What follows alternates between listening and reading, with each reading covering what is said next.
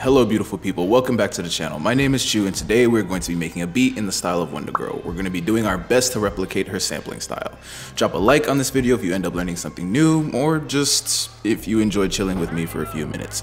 Smack that subscribe button so I can buzz away in your pocket the next time I have some dope new content for you and comment on what you want to see in the future. All sounds used in this tutorial can be found in the 14 drum kit for free and a link to that will be in the description below. Also, this episode is sponsored by TrackLib, which is where we'll be finding our samples from. More on that later. Follow me on Twitter, join my Discord, subscribe to my newsletter, and thank you for three years of insane continuous support. Without further ado, let's get started. So the first thing we're gonna do is just pull up TrackLib. TrackLib is cool because it just has like a, crazy selection of samples. So we're looking for something that Wondagurl would use, something dark, something ambient, something kind of like trippy and old.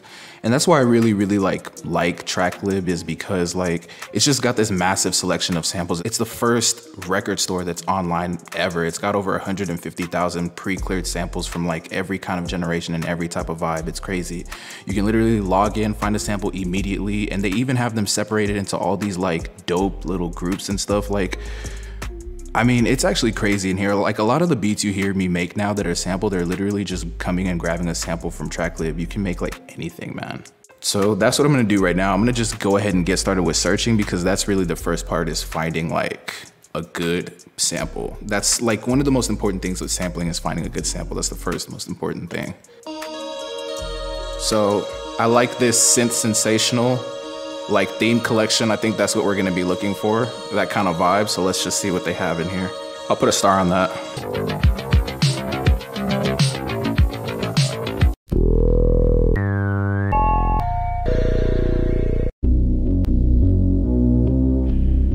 Frank Dukes.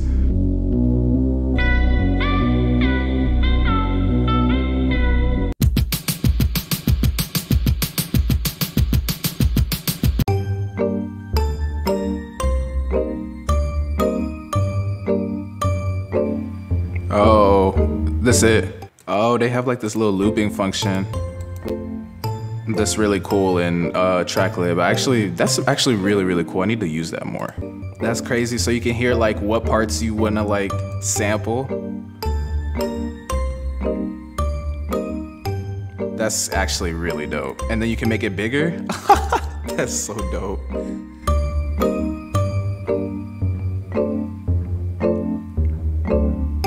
That's crazy. Okay, so actually, I like this one a lot, so we're just gonna rock with this one. I think this is gonna give us the perfect vibe.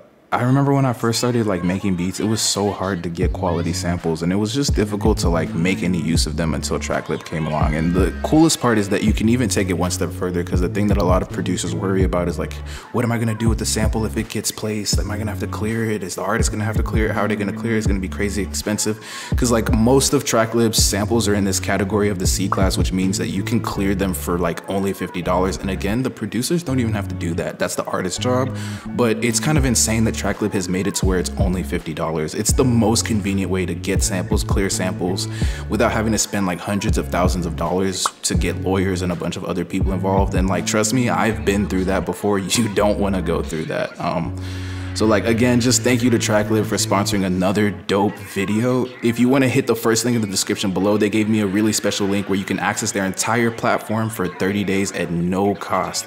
And they'll even give you 15 track download tokens so you can literally start downloading and sampling tracks legitimately for free with TrackLib today. So go ahead and check that out if you wanna make a beat like what we're about to make today, or if you just wanna make dope sample beats like I make or like other producers make all the time. Again, TrackLib, first link in the description, go check it out.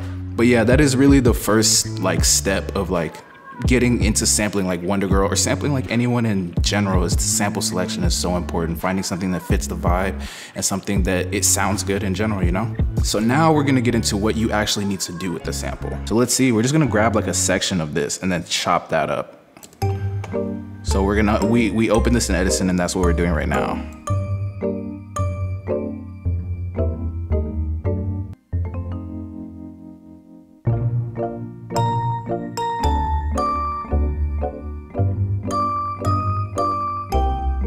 Okay, cool. So you know what? I'm gonna do this in two sections. So first of all, I'm gonna set my tempo. Um, it's just really important to set your tempo for like beats that you're gonna sample ahead of time. So something that I know is that Wondagurl works in the BPM of like 145 to 160, like really 155, like a lot. She gets her craziest, hardest bounces in those BPMs. So that's what I'm gonna be going for right off the bat. And you're gonna see why I had to set it at first in a second. But so we're gonna grab two sections of this, right? We're gonna grab this section right here.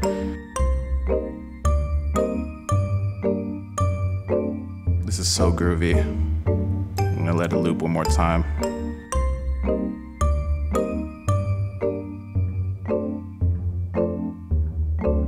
You wanna turn on looping so you can hear it loop. And then we're gonna go ahead and see if it's a perfect loop real quick.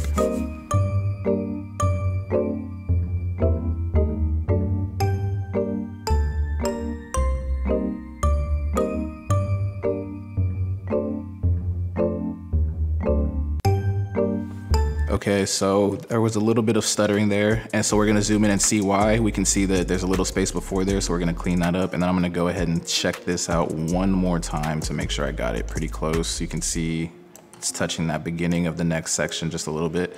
So I think this is perfect. I'm not even gonna, actually, let me just double check.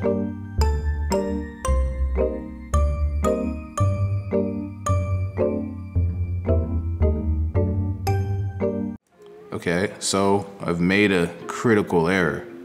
I did not take into account that this was written in like a waltz time. So I had to stretch it to four instead, which is fine. And then we're gonna come into both the samples and reset the pitch.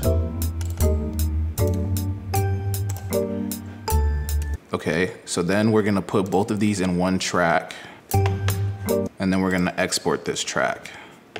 We're gonna open up Fruity Slicer, which is like this dope FL Studio like um, beat slicing um, tool. It's built in and it's fire, man. There are a lot of like other really good options for sampling, but for I'm, I'm a creature of habit, yo. Like I can't stop using F, uh, Fruity Slicer for some reason. I don't know.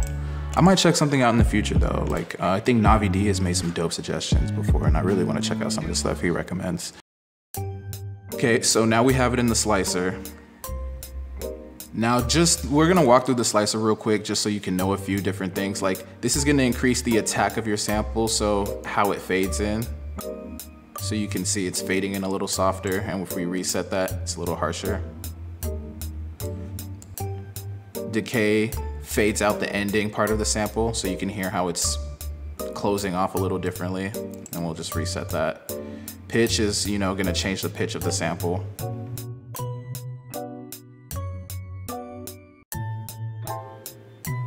Reset that.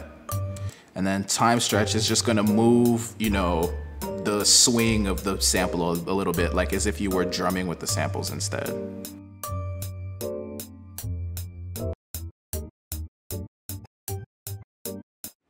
And then again, you can select the beat slicing option here. Uh, the one half beat and beat options are usually gonna be the ones you use, but any of these other options are really good too. And then other than that, you can reverse samples in here by selecting one and then hitting this reverse knob. You can toggle between reverse and not reverse, which is a really cool effect, depending on you know how your samples end up fitting together. But um, that's basically Fruity Slicer in a nutshell. Um, there's a few more tutorials, which I'll link in the description that I've done on my channel, which go a little bit deeper into it. This is more about just sampling like Wondagurl. So you know, enough about the sexy Fruity Slicer. Let's get into actually making this beat. Okay, I, I like this. So now we're going to increase that attack a little bit.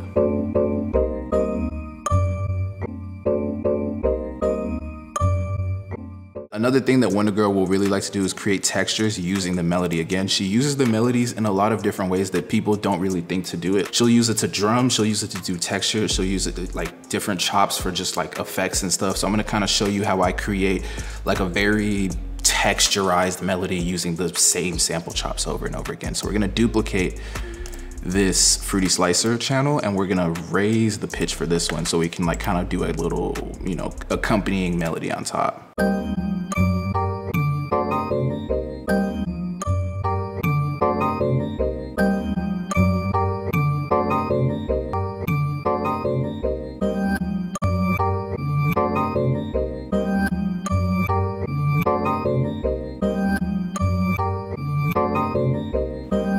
Okay, cool. And then we're gonna duplicate that one more time and we're just going to, for this last one, we're gonna bring it down an octave and then just do the same thing, try to add textures to it. So for this one, I'm actually just going to copy the first one pattern we made and add it and then kind of build it from there because I like that one. Okay.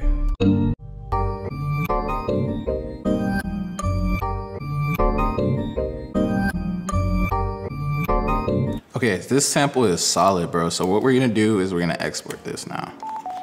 Okay, cool. So if we're gonna we're gonna lower this five semitones, let's go seven. So if we lower this seven, we also need to lower this seven. Okay, I fuck with I fuck with it reversed. Now I'm starting to really fuck with this.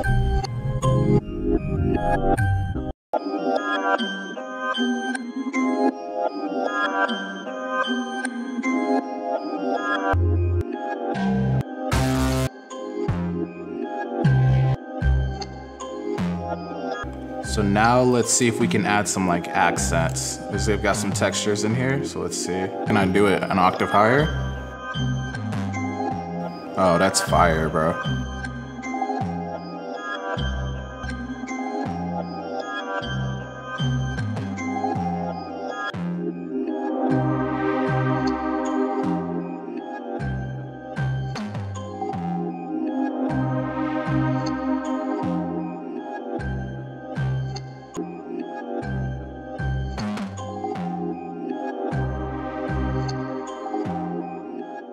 Okay, so now we are going to export this entire thing as a sample.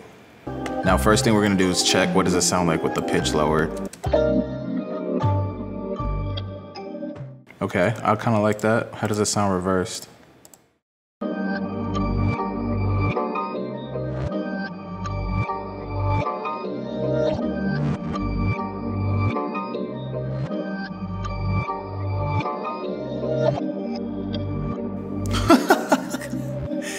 This is, okay, this is it. This is. Because it brought back our original melody, but with all the effects in reverse that we added. This is literally what Wondagurl be on, bro. I promise she be in the studio on some shrooms, bro. I promise you, bro. Like, I, we, we just prestige in here, bro. Like, I'm actually excited now. Okay, now we're gonna go crazy with the drums. We are in the 14 drum kit right now, so the last step of this is to just go crazy with the drums.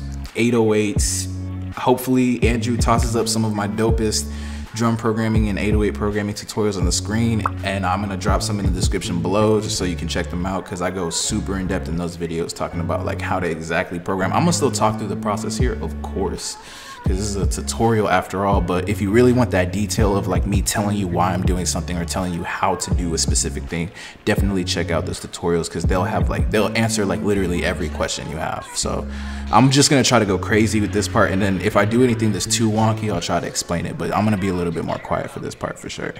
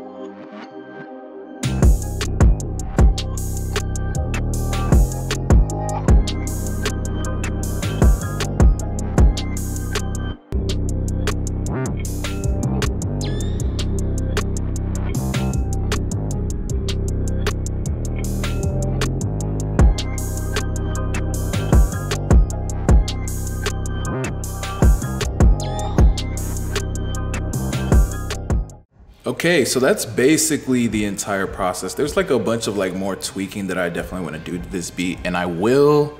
I just don't want this tutorial to devolve into like my desire to perfect everything. So like in case like I didn't really make it make sense throughout the entire process, like it really just is about finding a sample that is super like dope like look for something that's trippy that reminds you reminds you of like the video games you played when you were like a like a little kid like maybe six seven years old. Stuff that kind of sounds like it might come from like an animated horror film or even just like horror type stuff. Things that are really really trippy and if you know anything about like hmm, psychedelics, then you kind of know a little bit more of like the vibe that I'm telling you to go for. But if you don't, like even just typing in trippy samples or trippy music to give you an idea of what you should be looking for. So from there, once you find a dope sample, again, I 100% recommend just checking out Tracklib. Again, they're even offering you like free like samples, like deadass just you can literally use this music that is like licensed for free. Like they're literally allowed to arbitrate that for you as a producer. And I think that's just like crazy dope.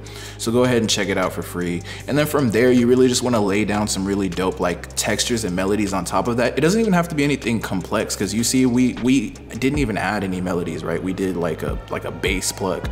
It's like one chord and like that was it right? And like some textures from gms if you want to know like the best vsts for stuff like that definitely check out my stock plugins only series because that's gonna just give you like a bunch of tutorials. Some that are actually based on Wondagurl for just making melodies and structuring out beats from start to finish using stock vsts only stock melody stock instrument vst so definitely check that out. And then from there it's just going crazy with the drums.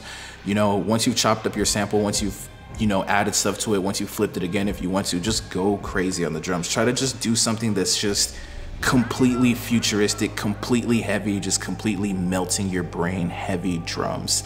And again, like I know like I I, I don't think I talked at all while I was programming the drums, but if you want like really detailed tutorials about that, I've got like at least 10 fire drum programming tutorials, like three or four of which have over a 100,000 views and they will help you answer basically any question you could possibly have when it comes to trap drum programming. I even have a specific drum programming tutorial based on Wondagurl style, which is kind of what I did in this video. Not saying I perfected it, but I'm definitely saying um, I know what I'm talking about is all I'm saying. And I mean, I think it's helped people and I hope it helps you too, but enough talking, man. I really, really appreciate you guys coming by to watch this video today. I appreciate you guys just coming to kick it with me for a little bit. Go ahead and drop a like on this video if you did learn something new or if you just enjoyed chopping it up with me for a few minutes, watching me cook up a beat. Um, go ahead and smack that subscribe button so I can buzz away in your pocket the next time I have some dope new content for you. Follow me on Twitter, join my Discord, grab my free 14 drum kit, it'll be in the first link in the description below. Join my newsletter, I'm gonna let this beat rock for the outro, so I'm gonna go ahead and get out of here. Stay happy, stay healthy, and always be creating. Just make sure it's dope content only. I love you, and I'll see you soon.